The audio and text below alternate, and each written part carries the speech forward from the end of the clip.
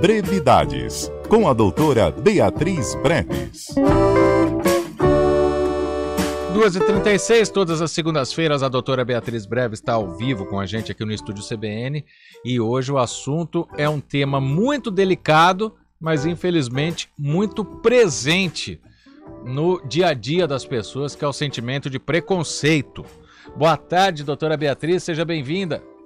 Boa tarde, Marco. Boa tarde, ouvinte. Boa tarde a todos da rádio. É, realmente é um sentimento muito delicado, mas que a gente tem que falar sobre ele. Né? Tem que falar e tem que combater, né? Como é esse Sim. sentimento de preconceito, doutora Beatriz? É, é, do ponto de vista do sentimento, né? É aquela coisa que você começa a rejeitar o outro, né? Você começa a rejeitar sem ter uma. É, você nem conhece direito, mas você tem uma, uma é um pré-julgamento que você tem, você, é uma, é, é você antecipa é, um juízo de valores sobre aquilo, sem saber, sem embasamento nenhum na realidade, e aí você passa a hostilizar, passa a sentir uma rejeição, uma repulsa, e isso não é bom de se sentir nem para si, nem para o outro, quando o outro percebe isso. Né? Doutora, o que leva uma pessoa a sentir o preconceito? Ela nasce com isso ou é algo que é moldado? Eu diria que, quer dizer, ela não nasce com isso, mas o fato dela nascer, ela já vai estar tá dentro de uma cultura, dentro de uma sociedade, e isso vai fazendo a pessoa se preencher né, de conceitos que, na verdade, são preconceitos. Quer dizer, quando aquilo não tem nenhum embasamento de realidade, é uma mera. Por exemplo, eu posso até falar, até como mulher mesmo, né, durante anos, e em muitos lugares ainda é assim, a mulher foi, é, é dita como aquele ser que tem que servir ao homem.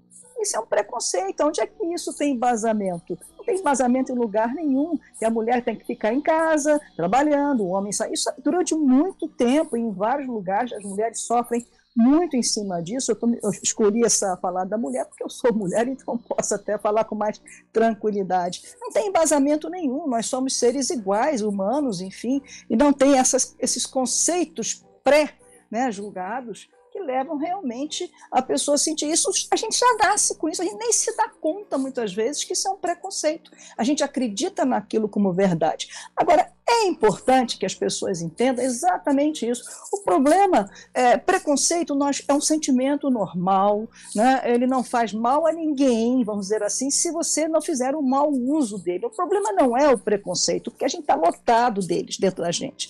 O problema é quando o preconceito culmina na discriminação. Aí você vai usar do seu preconceito para discriminar, para hostilizar, para repudiar, quer dizer, aquilo passa a ser transformado numa, numa, numa, numa forma de né, é, é, rechaçar o outro, diminuir o outro, aí é que a coisa fica complicada. Isso é que está. Porque quando a gente tem o preconceito, por exemplo, a gente nasce com esse conceito, a mulher nasceu para cuidar de casa e não sair para trabalhar, como era antigamente aqui, aqui no Brasil, ainda, alguns lugares ainda são assim. Mas à medida que você vai amadurecendo, que você vai com, começando a compreender, a melhorar, a mudar os valores, a se expandir como pessoa, você vai vendo que você vai reformulando os seus valores e isso vai sendo desconstruído, vamos dizer assim, né? dentro de você e na própria sociedade.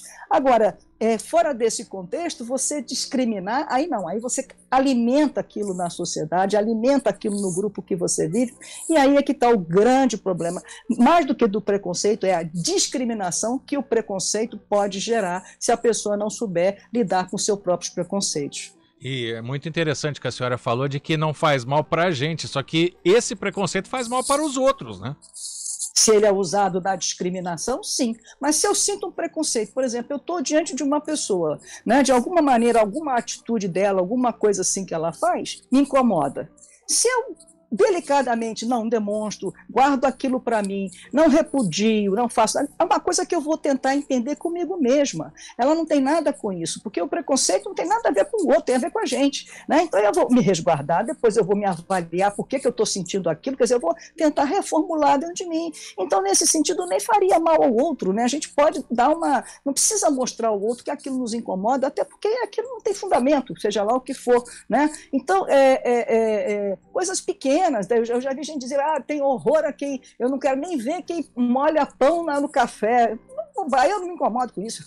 Mas tem gente que não gosta. É um preconceito. Qual é o problema? Ah, a pessoa que faz isso. É, é, é, não, entende? Então, é, é, se você guarda isso para si, vai pensar, vai pensar consigo mesmo. Por que, que eu estou sentindo assim? Por que, que eu estou pensando assim? Desde quando isso desmerece uma pessoa? Desde quando a cor, o sexo, a religião desmerece alguém? Desmerece ninguém isso. A atitude, desde que não esteja fazendo mal a ninguém, qual é o problema? Mas então a gente tem que guardar isso para a gente e repensar dentro da gente para não deixar que isso machuque o outro né, e faça mal à pessoa. Exatamente, mas esse exemplo que a senhora falou, que é um exemplo assim, é simples entre aspas, porque você pode ficar com com alguma coisa, algum tipo de sentimento com alguém que molha o pão no café. Só que hoje em dia, por exemplo, a rede social, a pessoa faz questão de falar que não gosta de quem molha o pão no café. Ela não consegue guardar para si. Aí né? ela está discriminando.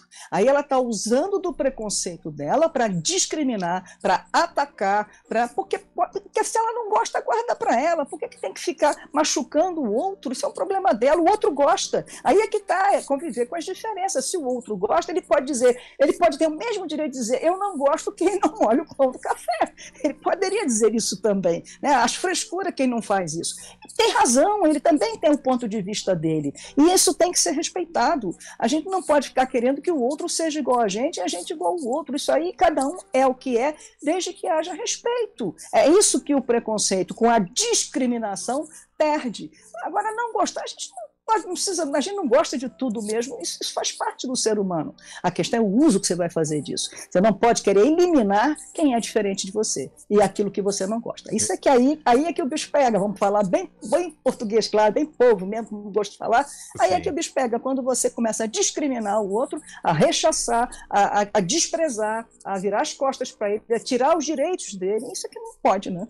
Esses sentimentos de discriminação, de desprezo que a senhora acabou de dizer, eles acompanham o preconceito e tem mais algum outro tipo tem vários? São vários, tem vários, mas você pode pensar, a intolerância é um deles, né? Que você não tolera, você não está tolerando a, a, a, pessoa, você está hostilizando, é outro, né? É a própria rejeição, como a gente estava falando, a repulsa, porque essas pessoas que têm, elas sentem, a gente vê, eu já vi, a gente sente nitidamente que o outro está cheio de repulsa, ele sente até nojo. Gente, isso é muita. É, muita, é, é para a pessoa parar para pensar por que, que faz tão mal a ela o outro ser diferente, né? Raiva, aí gera raiva também. Prepotência, a pessoa fica prepotente achando que ela é a dona da verdade e que o outro está com todos os erros e todas as mazelas do mundo. Não é assim. São vários sentimentos, isso aí é só. E sempre na linha, né? Esses sentimentos sempre se unem na linha da discriminação. Essa que é a grande questão. Sim, e aí a senhora falou, a gente falou amenamente de quem molha o pão no café, só que aí a gente vai entrar agora em quem sofre preconceito por crença, por orientação sexual, pela raça, né? E quais as consequências para uma pessoa que sofre esse tipo de preconceito, doutora Beatriz? Desastrosas. Eu diria que é, é desastroso. É, não, a gente não tem nem, nem assim, palavras, falando do, do, ponto de vista do sentimento, chega a doer, né? porque a pessoa realmente ela, ela carrega em cima de si é, algo que, que. Sabe o que, que eu penso? Eu acho assim que quando preconceito chega nesse nível, porque já é um, um, preconceito social, você tem vários tipos de preconceito. Você tem o um preconceito de uma pessoa só com você, você tem o um preconceito de um grupo pequeno, você tem um preconceito que às vezes acontece numa escola, e tem um preconceito social, né, que é esse que você trouxe. Eu acho que esse preconceito ele, ele é cruel porque ele tenta tirar a dignidade daquela pessoa. Ele tenta, aliás, todos eles, né, mas esse aparece mais porque ele, ele trata o outro como se fosse uma coisa, um, um, um objeto né, que você pode fazer um uso e jogar fora. Quer dizer, desumaniza humaniza a pessoa. É um preconceito dos mais cruéis. E a pessoa que sofre isso, ela, se ela não tiver uma estrutura, se ela não entender que aquilo não tem nada a ver com ela, ela vai simplesmente sofrer horrores na vida, vai ter problema de aprendizado, ela vai, virar, vai, vai ter reação, vai ficar reativa, vai se tornar agressiva, vai, enfim, ela vai é, descambar por um caminho assim de muito sofrimento pessoal e, e não tem nem descrição para isso, sabe? É muito sofrido mesmo. Eu já tenho acompanhado, é muito sofrido. E é pra... cruel. É, então, e para a gente terminar, como enfrentar essa crueldade do, do preconceito, doutora Beatriz? Olha, primeiro é a pessoa entender que aquilo não tem nada a ver com ela. Aquilo é uma questão do outro. Né? O preconceito, na verdade, é do outro. E eu acho que uma maneira de você combater a. a, a isso é claro que é subjetivo, né? eu estou dando até uma, uma opinião minha, dentro da minha vivência, enfim. É, é, é, a última coisa que você deve fazer é combater o preconceito com preconceito.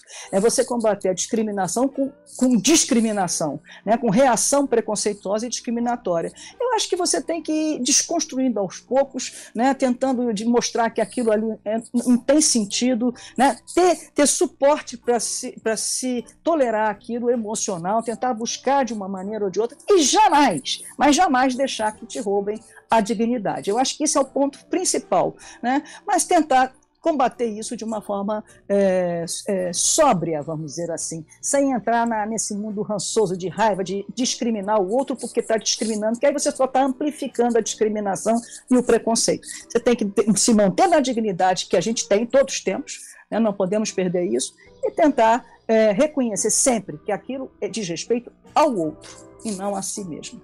Mas oferecer a outra face não é tão simples, né? Não, mas eu não estou falando para oferecer a outra face, não, por favor. Se, se deu essa ideia, é, não é isso. Jamais oferecer a outra face. Justamente manter a dignidade é não oferecer a outra face. É você seguir sua vida, seguir com seus ideais, com o que você acredita e se posicionando de uma forma firme, mas jamais discriminando junto, entendeu? Porque aí é pior. É diferente. Oferecer a outra face, não. Isso aí você estaria se submetendo, aí você estaria deixando que o outro a sua dignidade embora. Jamais.